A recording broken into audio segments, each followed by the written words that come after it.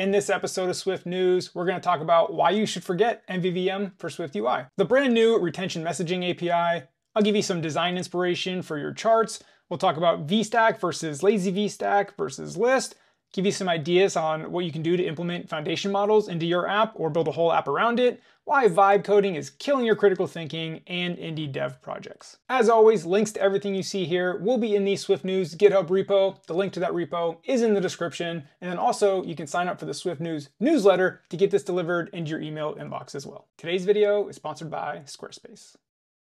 First up, Swift UI in 2025. Forget MVVM. Who doesn't love a good architecture debate on a Monday morning? So Thomas Ricouard here has an article. He's been championing this on Twitter. A lot of people are, are, getting behind this. And of course, there's a whole cohort of people that love MVVM. So as always, there is no one absolute right answer. Whatever's best for your project, your team, I recommend doing. However, me personally, I tend to lean towards what this article is saying as well. I've moved away from MVVM, like the vanilla SwiftUI architecture, and Thomas goes into a lot of the reasons why. So let me share this here. And by the way, the reason I'm sharing this, like I, I really don't like architecture debates. Like I said, it's do what's best for you and your team and your project, whatever. I don't really care. I'm not going to try to convince you of anything. But I want to share this article in case you're out there, you've only ever used MVVM, you've never considered anything else. I think this article might have you at least considering the other option, even if you don't go with it. So anyway, Thomas has a couple open source projects, uh, Icy Sky, Blue Sky. These are Mastodon and Blue Sky clients, but they're open source Swift UI.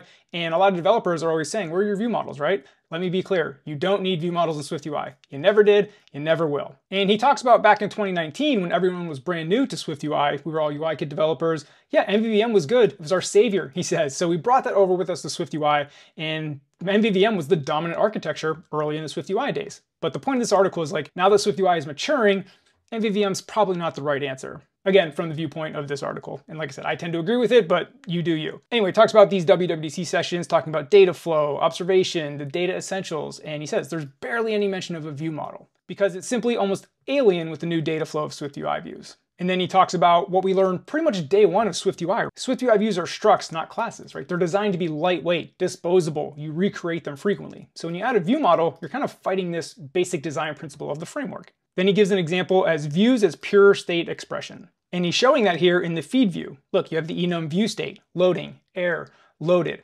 What Thomas is showing here is keep your Swift UI views small, simple. They are pure state expressions. And then where the magic happens, as he says here, is in the environment, right? The magic of environment. This is where Swift UI shines. So instead of manually injecting your dependencies like through a view model, use the environment. So here he has a client, it's like network manager, whatever you want to call it. This could be user, authentication, all your services, if you will, can be in the environment. That way any view can access them.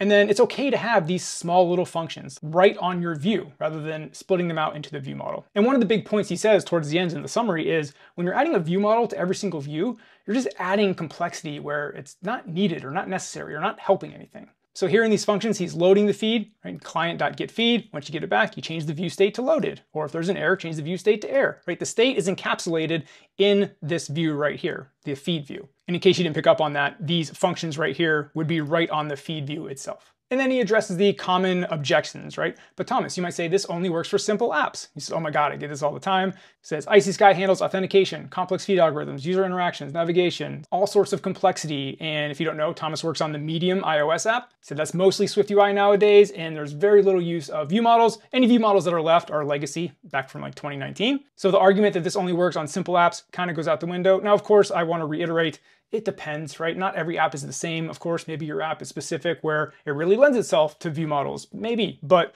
in general, I believe you shouldn't automatically default to MVVM. That should be what you use when your project or team or whatever lends itself to being the right architecture. And then going down, he talks about testing, because that's another common objection. Well, actually, let me back up. I skipped over this part. It allows for a straightforward app setup. So here's your app file, Icy Sky app, and here you are creating all of your services. Here's this client, authentication, user, router, and then at the app level, you inject them into the environment here. So every view in the app has access to client, auth, current user. So that's how you set it up in the app, inject them in the environment. Now every view has access to them. All right, so let's go down to the, uh, oh, I keep, I keep wanting to skip ahead to the testing part. I keep forgetting this part. So the basic structure is, yeah, you have models, those your data structures and business logic. You have your services, network clients, database, utilities, all that stuff. These are injected via the environment. And then views are pure state representations. Now I have seen people talk about on Twitter, like It is a view model, you just named it something else.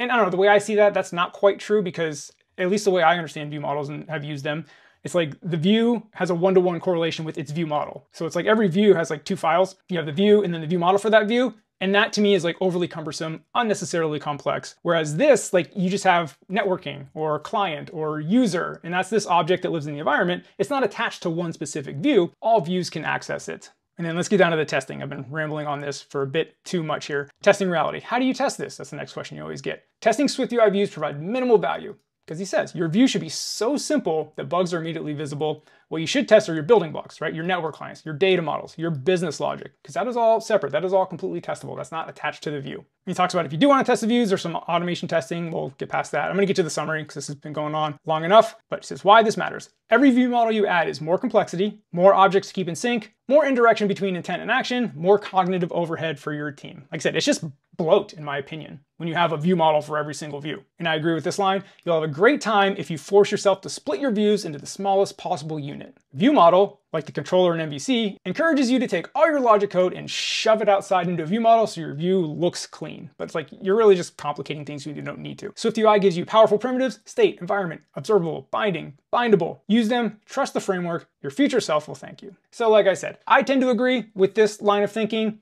If you're an MVVM lover and you think that's better for certain circumstances, absolutely go for it. I'm not gonna try to convince you of anything. The reason I wanted to share this was in case you weren't familiar with this vanilla Swift UI and you've always just defaulted to MVVM because that's what you were taught, that's all you knew. I just encourage you to read the article, think about it, maybe try building a small sample project and test it out for yourself. Don't listen to people arguing about it over the internet. Like test them out for yourself and make your own decision. Now let's talk about the retention messaging API that is brand new. In fact, so new that this is a pre-release. You have to request access to it, so it is not out there yet. But what is it? Basically, when your user goes to cancel, I'll go down to a picture so you can see it. Right, you get this confirmed cancellation on your subscription. Before, we didn't have any control over this. The user just went there and canceled. Now we get access to this for a few different options. Up here, we can just have a text-based message. We can have a message with an image. We can have a switch plan message. Hey, save money by switching to annual or whatever. Or we can have a promotional offer like, hey, don't cancel, here's a discount. So you're, you're saving the customer right at cancellation and it's in the native cancellation sheet. So like I said, before we didn't have any control over this.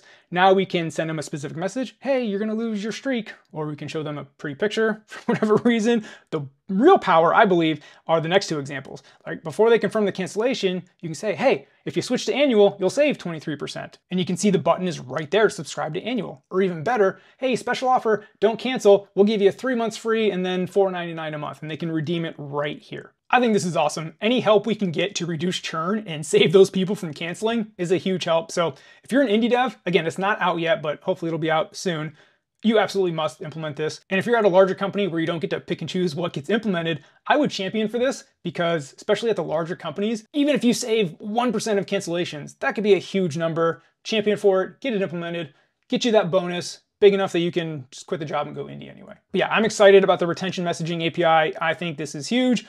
I don't know the exact release date, maybe someone can correct me in the comments, but if you are super excited about this, you can request early access to it, and hopefully it's out for the rest of us in a couple months. Moving on, I want to share some design inspiration for charts in your app. I'm a sucker for charts. I just love them. And here from Fictory Studios, this is not specifically built in Swift or iOS. This is just purely design, but there's just so many different charts in here that I found I wanted to share for you to give you inspiration if you're building a dashboard or any sort of chart or widget in your app. I think there's so many cool design ideas. And I'm not saying to just rip these off 100% one for one, but you know, they can give you some ideas on how to structure your charts. Like I like this at like the bottom of a widget, kind of like the half half circle chart. I think that's a pretty cool look. Obviously got the classic rings here, but like I said, so many different variations of charts. I'm gonna scroll through it pretty quickly, but like I said, if you're building a dashboard or any sort of chart, any sort of widget, I think you can get some really good design ideas by scrolling through here, taking what you like, leaving what you don't, piecing it together, and build a beautiful chart all on your own. Up next, we have choosing between lazy VStack, list, and VStack in SwiftUI by Donny Wals.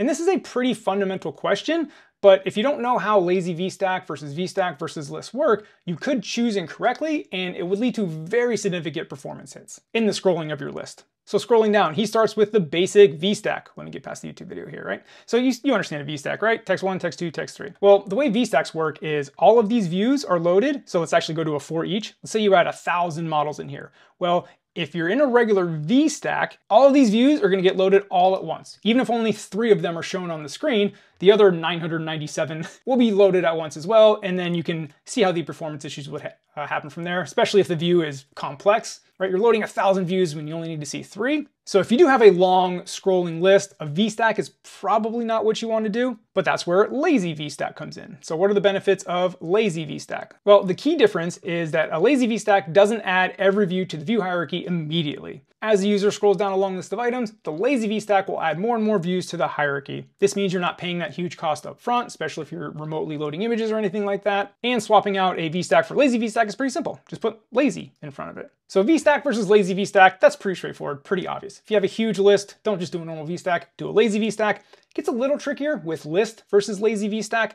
and it really depends on what kind of list you need. If you have a pretty standard list and you want swipe to delete, you want navigation link chevrons, like the pretty standard list that you see. Also remember list will dynamically change based on the platform, VisionOS, Mac, Watch. A list will look like a list on each platform automatically. Whereas a lazy VStack and a scroll view you're gonna get that look no matter what platform you want. You're not gonna get built-in swipe to delete. You're not gonna get built-in navigation indicators. You do get a lot more customization. For example, in the scroll view, you can use all the fun scroll view transition APIs that you can't use in a list. So that's really what it boils down to when deciding between lazy VStack or a list is the level of customization and the look you want. If you want the standard list look, again, like a settings screen, and you want the swipe to delete, navigation indicators, list is the way to go.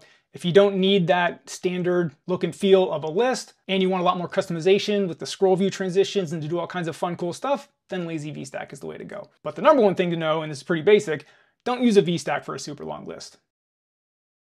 Up next, I have a foundation models playground from Ivan Campos. And the reason I wanted to share this, just like the charts, purely for inspiration. So these are a bunch of playgrounds, again, the new playgrounds in Xcode 26 to where it's the macro, but here's, here's an example, the basic chat.swift of the back and forth. So the code in here is not crazy complex. I'm not sharing this so you can get all kinds of cool code to implement into your app because you know, the foundation models code is pretty simple. You create a language model session, you give it a prompt, and then the prompt responds. Of course, it can get more complex than that with like tool calling and all that stuff. But the reason I say that is that the code in this repo isn't necessarily the most complex code. Why I wanted to share this was because it is like 140 ideas on things you might be able to build an entire app around, or maybe how you can implement foundation models into a certain feature for your app. For example, that was just the chat. If you scroll through here, we'll try to find a good one, right? There's article summaries, news summaries, resume generator, recipe maker. And again, in recipe maker, the code's not super complex, right? You go through it, gives you some instructions, create a language model session, send up the prompt, right? Again, the code is not what we're here for. We're here for the ideas. There's like add to calendar, there's code refactoring, there's iOS developer interview question generation from here. Uh, again, there's 140 of them. I'm kind of scrolling quickly here. There's a stock price tool, trivia score tool, weather stuff. So again, the idea is to scroll through here, be like, oh, content planner. Maybe I can implement some content planning into my calendar app. You see where I'm going with this. I think you can go through this list, look through some stuff here, and get ideas for how to implement foundation models into your app, or maybe it gives you an idea to completely build a simple app around this one foundation model idea. Up next, we have how vibe coding is hurting your critical thinking by Azam Sharp. And there's two points I liked in this article. It's not a super long article. Obviously, the headline says it all, right? The more you vibe code and let AI do the critical thinking for you, you kind of lose that muscle, that skill. And the two points I want to bring up are talks about domain expertise, right? After nearly 20 years as a software developer, I've come to realize something important. Domain knowledge often matters more than technical skill. I like this. You can always find someone who can animate a screen, wire up a form, build a splash screen. But developers who understand the business deeply, including the edge cases, the workflows, the reasons why behind things are the way they are, that's rare. If you've worked at a company, you've all worked with that developer, the one that's been there 10 years, five years since the beginning, whatever it is for that company, and they just have all the domain knowledge. So any question you have, you go to that developer and it seems like they know everything because they've been around for a while. That is what's rare, right? AI can't replicate that. However, AI can wire up a form, animate a screen, all that stuff. So if you do let AI offload your critical thinking when building your app, you're losing that domain knowledge. And I think that's really important because this could go one of two ways. Either AI is going to just build everything for us and software developers aren't going to exist. Well, in that case, yeah, your domain knowledge doesn't matter. Or if it doesn't happen, where we still need that domain knowledge, well, then now the people with domain knowledge are going to be super valuable, super rare, super important. So you might as well get the domain knowledge because either we're not going to exist as a profession or you're going to be very important with that domain knowledge. And then I've actually personally felt this one, this growth requires engagement. It's like there's nothing wrong with using tools like ChatGPT. They're great for boosting productivity, learning new techniques, solving problems. But when they replace your thinking, curiosity, and willingness to dig deep, you stop growing. And I felt this because there's plenty of mundane problems in my apps that I've been building recently that I'm like, I don't even want to think about that. And I just have like AI do it. Now I'm not talking about the exciting, interesting problems. I still do those. I'm just talking about like the boring, mundane ones that it's just like, ugh, whatever, just have AI do it. And I can feel my skills diminishing a little bit. Now, luckily for me, I've been doing this for 10 years the, the old way, right? Where we didn't have AI. So a lot of my skills are in place. Don't get me wrong it still affects me. I still feel them deteriorating. The reason I'm bringing that up is I can't imagine how impactful this is for someone who has one year experience, two, three, four years experience. Like I try to put myself back earlier in my career. If I had AI and was offloading my critical thinking and solving hard problems, I would still be stuck in that two, three year developer, right? To be a permanent junior developer. So I guess I bring this up that if you are in that early stages of your career, be very careful with this because yes, I have felt my skills diminish from using AI. And that compounds over years. Luckily, I've had a decade experience to where I feel like my skills are pretty solid. They still deteriorate, but I have a solid foundation. Whereas if I was two, three years into my career, I hadn't built up that solid foundation yet, I would just stagnate. So yes, if you're early in your career, be very careful how much you offload to AI. Lastly, we have some indie dev stuff from Jordan Morgan, The Business and the Boutique, and I, and I love this. It said, some apps are made to be big boy business ventures, some are for the love of the game. It says he's been building a business, he has an app called Elite Hoops. I believe last time he updated, or at least at last update I saw, it's like 6,000 MRR, somewhere in that range, so doing pretty well. But he also used to have an app called Spend Stack where he just used that as his playground, was always adopting the latest and greatest iOS APIs. And here's the crux, right? With the, the big boy business ventures, a lot of times adopting the latest and greatest fun toys that we want to do as a developer, right? Because it's fun, it's new, it's exciting, it's a cool feature, but that cool feature may have no impact on your business, right? And when you're building the, the big boy business, you need to be thinking about the earnings of that app first and foremost and you might not get to play around with all the latest and greatest fun toys. So that's where Jordan talks about having two apps. One of them is the business where you focus on that. In fact, most of your time is probably spent on marketing, not even building. And then you have for the love of the game app is what he calls it. And he has a new one called Alyx Caffeine Tracker. And this is where he says right here, what does that mean? It means I will over polish freaking everything. I will go 200% in on Apple APIs like shortcuts, widgets, Will I spend each summer integrating Apple's new toys over anything else? You bet. Because again, a lot of times, if you're building the new toys, you're not focusing on the business and the business will start to go down. And he talks about how he implemented a shortcut in the onboarding. But anyway, the idea here, especially if you're an indie dev, if you can get here, right, this is a very like good place to be where you have one app that's, you know, making money, doing well enough to support you. It's a business on its own. Like that's a very fortunate position to be in.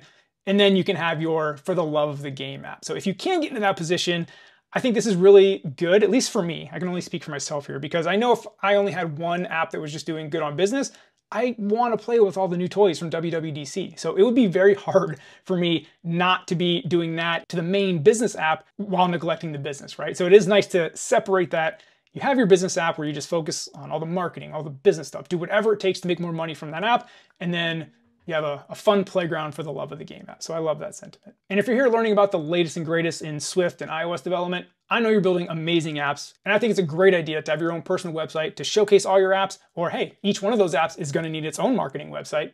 And that brings me to today's sponsor, Squarespace. Squarespace is an all-in-one platform to help you get that iOS developer portfolio up and running very quickly. Now I know we're developers, we can build the website ourselves, but we're also iOS developers, and I would argue there's an opportunity cost of your time. Now, do you want to spend your time learning about web development, responsive design, all the different browsers, or do you want to spend your time building apps? So that's why I always recommend letting Squarespace take that off your plate to build your iOS developer portfolio. They have all kinds of beautiful themes and templates to get you started, and you can use their next generation website editor with the Fluid engine to just really unlock all the creativity in the world. You can even use Squarespace Blueprint and Squarespace AI to help you figure out what to write on your website, because that's always the hardest part. Like, I don't even know what to say here. Throw it into Squarespace's AI and they'll help you out. They handle all the SEO and analytics for you. Again, Squarespace, handling your website just takes so much off your plate. So when you're ready to get started, go to squarespace.com. And when you're ready to launch, go to squarespace.com slash Sean Allen to get 10% off your first purchase of a website or domain.